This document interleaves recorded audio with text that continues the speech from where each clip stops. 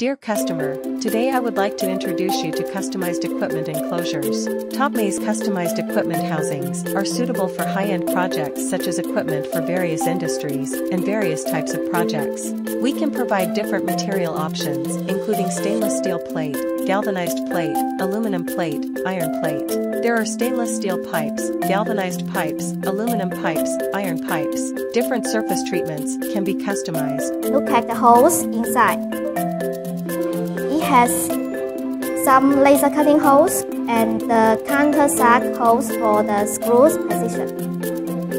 In the back side, there is four screws customized in M5 specification.